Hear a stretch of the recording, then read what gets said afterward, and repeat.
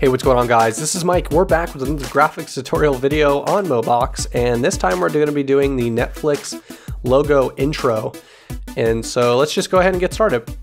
So I'm already in here in Illustrator, and I just want to show you how I made this text. So um, in case you kind of need to get this arc effect, um, you just come in and you find the text tool, and you type something like, uh, like Mobox, highlight it, increase the size to your liking.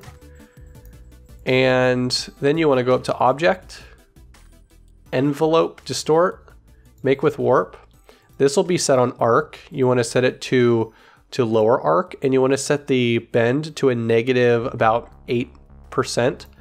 And that's how you get that effect. And I just like to kind of bring it, like expand it from the top because it sometimes gets squished. And that's how you simply get this flat top and arced bottom. So let's just go ahead and jump in After Effects. All right, so here we are back in After Effects, and I'm just gonna select this Netflix layer and drag it right in. For some reason it won't center, so I'm just gonna center it up, and I'm just going to then scale it up. Um, I'm gonna press this little button here, and that basically makes it continuously, uh, I guess, update, and so I could zoom in, and it doesn't, it, it makes, it keeps it as a vector layer. So now what I'm going to do is I'm going to actually select this layer, go Effect, Generate, Fill, and that red's fine, but I'm going to change it to maybe a, a green color. I'm going to set the transparency lower, and I'm going to lock it.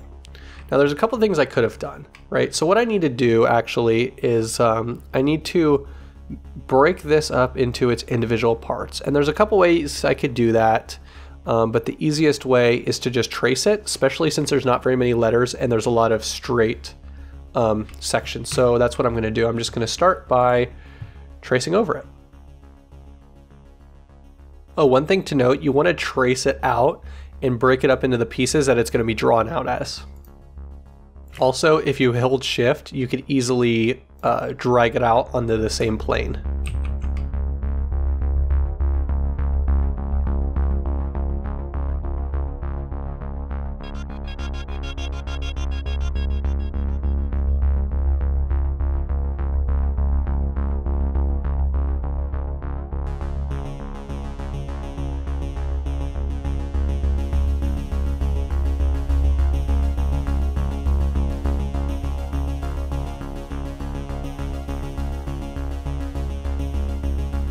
And so now we're ready to, to get started. You'll notice that it's not perfect and it doesn't have to be because because this bottom or this Netflix layer you can now delete once you have it selected. Now now basically now we just have the the tracing. So now for the kind of the, the grindy stuff. Um, so I'm just gonna select all these and I'm gonna change the color to like uh, I don't know Netflix red, which seems to be like a generic red. Let's Let's see if I have a color picker here. We could just, all right, I'm gonna have to leave this on the second monitor, but you'll see the color that I'm choosing is that color. And that comes straight from the Netflix logo. You'll see that it's uh, it's not quite exactly like the logo because I'm using a different font, but, but that's totally okay. So I'm just gonna select these. That'll make this um, have some motion blur. And now I think we're ready to start animating. So I'm going to start this at about one second. Um, this composition is only four seconds, which I think I'm going to change to maybe like six, just to be safe. Um, then select all these layers, come down to the end and just extend them. So I'm going to start at about one second and I'm going to select all of these and you really you really need to know where you want your anchor point to be. So if it's drawing out this way, then you want this anchor point to be at the top of the shape. So I'm just going to go ahead and move all of these anchor points to where I want the, the shape to scale from.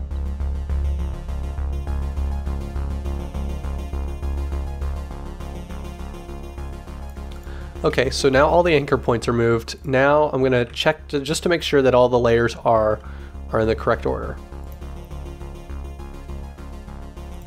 Okay, they're all in order. Now I'm gonna start scaling these objects. I'm gonna just select them all and hit S on the keyboard and start the scaling procedure. So since there's so many objects that need to be scaled, we only need to make it maybe 10 keyframes across. And I'm just gonna select this layer and uh, move this keyframe over, go back to one second and, and make sure I uncheck. Actually, while they're all open, I think I could just select them all and uncheck. Well, you can't just uncheck this, this locking or this little chain link. And what that basically does is it delinks the X and Y scaling. So you could scale in one direction and not the other. So they're independent. so now what I want to do is I want to scale this up to zero. Um, but actually, I think I already messed up. I think that this that this uh, point is supposed to be at the bottom.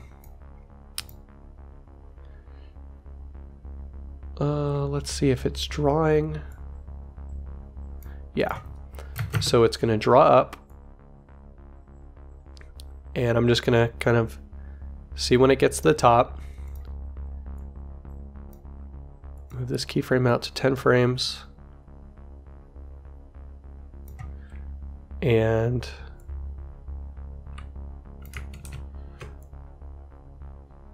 so this one, I need to do zero, zero. Let's see what we get with that. It's not quite exactly what we want. So what we could actually do is we could change the path. So what I'm just going to do is I'm going to set these back to 100. And I'm going to search path. So I could set a path keyframe, move it over to 10 seconds, and basically just drag this up to this top.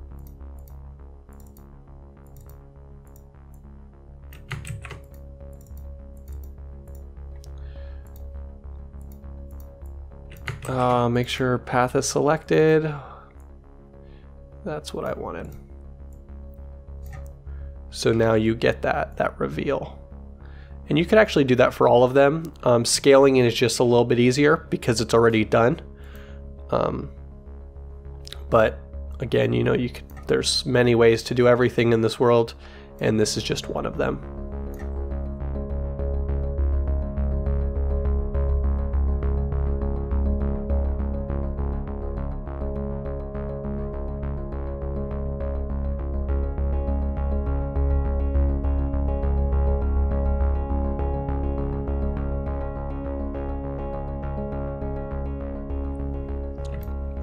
Okay, so I'm done all the keyframes. You can see that that that they're not staggered completely evenly, but the reason is the reason being is that basically when this line here comes past this line, that's when I'm going to start this line. Not when this line's all the way done. So that way it's a little bit quicker and it's a little bit smoother and this letter always takes just as long as this letter no matter how many pieces it has. So you could see we'll render it out and it looks pretty slow and it also looks pretty kind of not very great. So what I'm going to do is I'm just going to select all the keyframes here, which there is a ton of them. And I'm going to use my little tool over here to, to smooth out the motion. Um, again, this tool is you can purchase it at mountmograph.com. Um, it's called Motion 2. I don't, I'm not sponsored by it. I just use it. It's the only tool I use, and it's totally worth. I think like the 35 bucks that it that it's that it cost. So alternatively, you can come into the graph editor and mess with these graphs. Obviously, you see how complicated this is. I don't like to do that, so I skip that step, step and I just paid 30 bucks and I never have to deal with it ever again. So you can see that already it's, it's you know, it's coming apart just like you'd expect.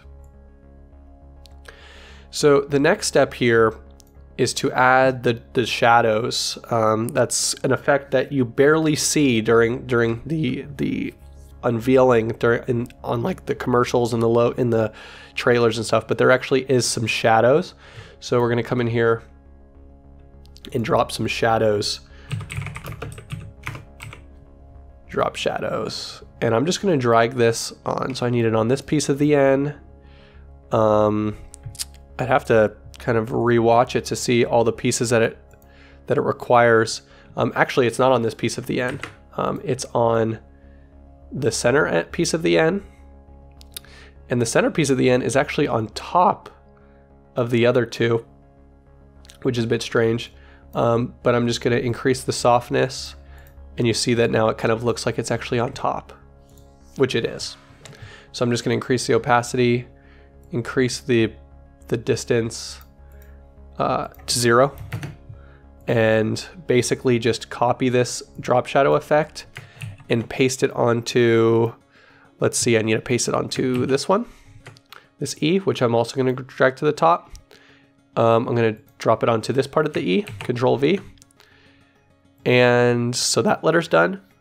I think the top of the T, so I'm just going to paste it onto the top of the T, drag this again on top of, of that T. Whoop, too far. Um, this part of the F, I'm going to drag this part of the F on top. Um, I'm just watching the trailer. Um, I could drop it on this part of the F. Uh, this part of the L, which since it's below, I'm going to need to drag it on top. And I don't think it matters which, which part of the X, but I'm going to put it on that one. So now you're already looking at something that looks significantly better than it did just a second ago.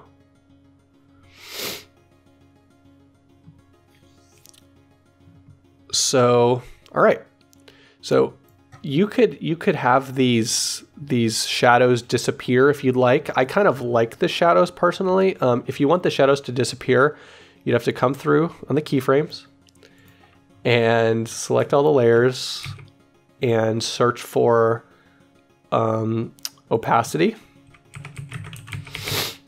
And you'd have to come and you'd have to set keyframes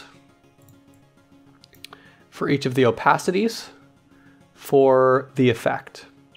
So effect, drop shadow, opacity, set keyframes. And you can do this. Um, I guess I could do it for the sake of this tutorial, um, but it, you know, obviously adds some extra time. Your effect, you may like the drop shadows. Um, I kind of do, to be completely honest. So but I'm still going to do it just because uh, it's just for completeness. I'm a completionist. So obviously only the ones that, that are effect drop shadow need the keyframe. I think that's it. I'm just going to select every layer and press U on the keyboard to get my keyframes. And now for the fun part.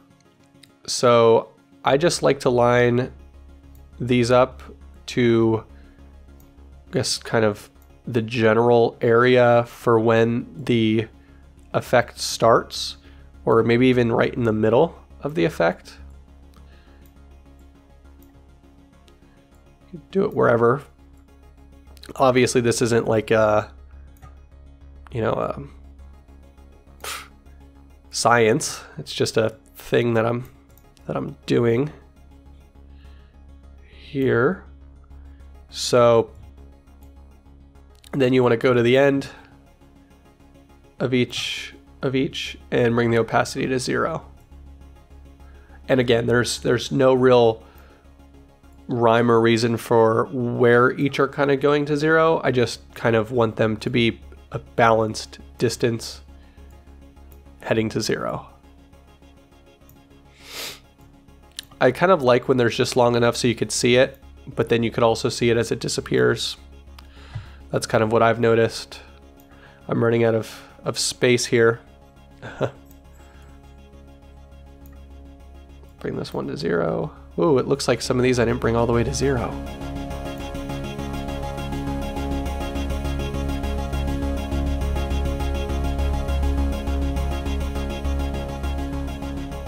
Okay, there you have it. I just increased the, the opacity a tad um, just to make the effect a little bit stronger. So now what we're gonna do is we're gonna create a new composition, composition new. Oh, that looks good. Layer new solid. Make it dark, almost black, not quite. I'm gonna just drag comp one on. And so you'll see here that like the tops of these X's are actually uh, you are seen, and it's because they're paths, so I'm just going to go clean those up.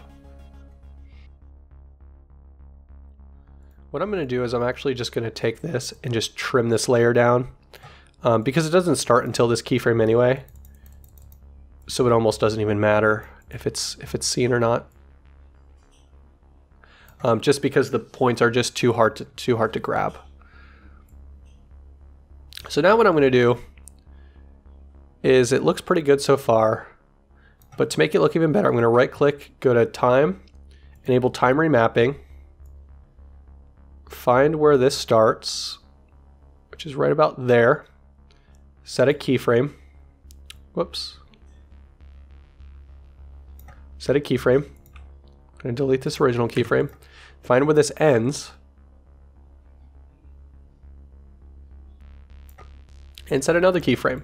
Now what I could do is I could drag these keyframes closer and basically it speeds up the animation. But what I could also do is I could select these and smooth them out too, again using my tool, or you can go into the graph editor and come to um, speed graph and edit it there. Again, I hate using that, so I'm not going to. And now you can see what it looks like. Obviously that's too fast, but you know, you could augment this to your heart's content. I'm just going to keep messing with these until I kind of get something that I like.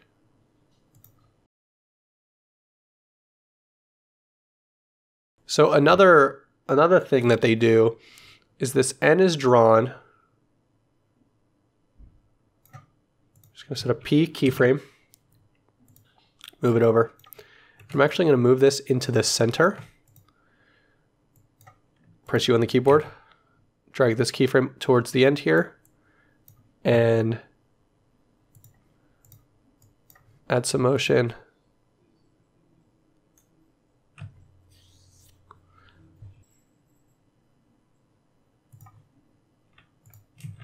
All right, so last step, I'm just gonna scale this down. Layer new null object. I'm just gonna parent it. So that way I could move this down without messing up my keyframes. And I'm just going to type only on because that's what they do. uh, make this color white, slightly off white, change it to Geomanist because that's the same font I'm using. I think regular looks probably fine. Just bring the size down. Center up the keyframe or center up the uh, axis, center the, the text, bring it on top and parent this position to the comp position. So now it's following. And now I can select all the layers, press U on the keyboard, bring this opacity, T, to the end. Make this zero. So now as it moves over, it kind of gets revealed. Um, and so now you wind up with something that looks just like that, only on Netflix.